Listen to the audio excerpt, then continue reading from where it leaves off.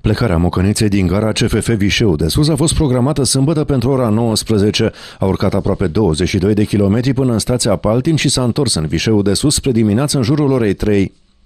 va fi la kilometrul 6, următoarea la kilometrul 12, iar din cele din urmă la kilometrul 15, unde vom staționa 15-20 de minute, în timp în care locomotiva se va alimenta cu lente și cu apă, iar noi personalul vă vom servi cu băuturi calde, băuturi răcoritoare, pălincă și țuică.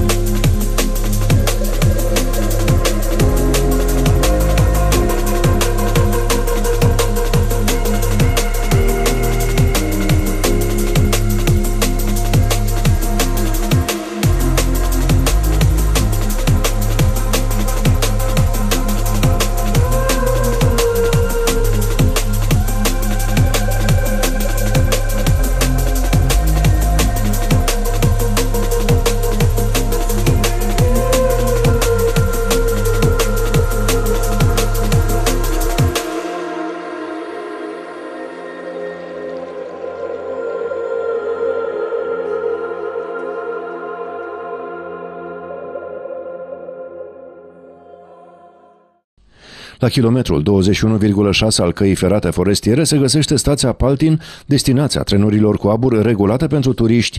Odată ajunși acolo, aceștia au avut prilejul să petreacă precum un maramureșan autentic. Chiar dacă luna plină nu s-a lăsat văzută, turiștii nu au fost dezamăgiți. Au dansat în mijlocul naturii în miez de noapte cât i-au ținut picioarele.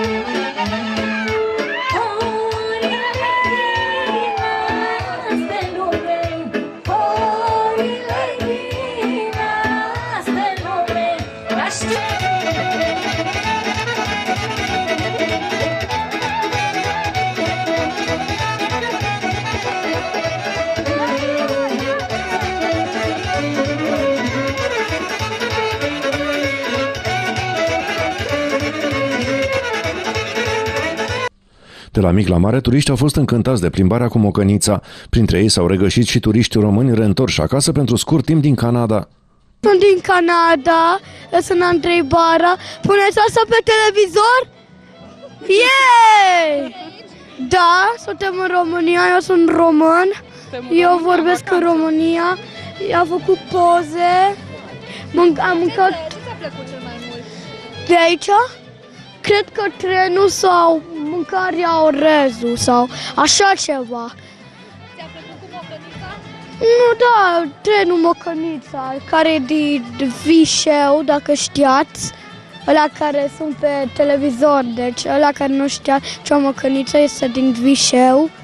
Am dansat, uh, uite-te un foc care s-a ars un copac. Am făcut și filme și da, m-a plăcut aici. Și t- vedem că tatăl meu mai filmează tot timpul. Eu sunt pe, eu cred că sunt pe televizor. A, eu, eu cred că n-am, a- n-am auzit pentru că eu mă cheamă Andrei Bara, Nicolae. Sunt un copil mic, dar eu îmi place să vorbesc și să, și să fiu popular. Foarte bine, foarte frumos, foarte bine. Minunat, minunat. N-am mai fost, nu, suntem prima dată. Am mai fost în Maramureș, dar nu aici, cu Mocănița. Foarte frumos, minunat. Cum a fost călătoria cu trenul? Foarte frumos, foarte, tot, peisajul, tot, trenul, e de vis, de vis. Vă place, Ca, tot, ca toată România, de vis. vă place Maramureș? Sigur, cum să nu? Cum să nu? Întotdeauna, inima e aici, chiar dacă locuim în Canada. Cu bubici? Excelent. De unde sunteți? În Constanța. Este prim, pentru prima dată când veniți? E a doua oară când vin, e prima oară pe timp de noapte. Suntem un grup de 12 colegi și ne simțim excelent. Ați venit în concediu în Maramureș? Da, suntem în, con- în concediu, da. Plimbarea cu mocănița cum a fost? Excelentă, e frumoasă, e superbă. De unde ați aflat de mocăniță? Uh, De pe internet. De pe internet, colegii s-au ocupat de rezervare și de bilete. Ați lăsat marea pentru munte? E, merită că e și muntele frumos și sărbătorile, dacă le poți prinde, sunt, sunt excelente. Ce v-a plăcut cel mai mult până acum? Cred că și drumeția, și muzica, și focul acesta de tabără, mâncarea este excelentă. Veți mai veni în Maramureș? Când voi mai avea ocazia, bineînțeles.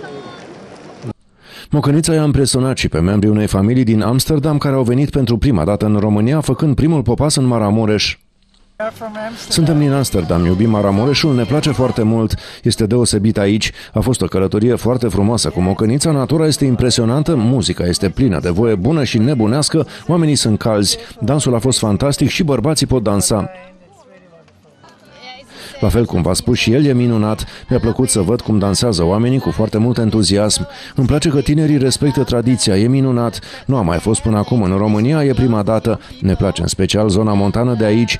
Mulți oameni au spus că Maramureșul este partea cea mai frumoasă din România și am vrut să verificăm. Le dăm dreptate. Very fine. E foarte frumos. Vin din Germania aici pentru că îmi place Maramureșul.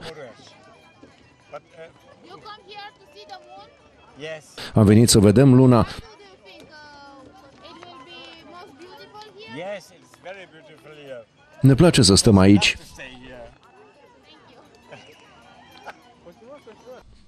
Înainte de plecare, organizatorii le-au pregătit turiștilor un foc de tabără.